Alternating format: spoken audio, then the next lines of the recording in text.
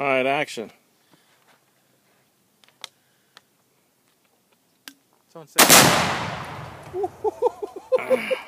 Wow, I think that got it. That was a nice shot, Walter. That was a big ass explosion. Are you still recording?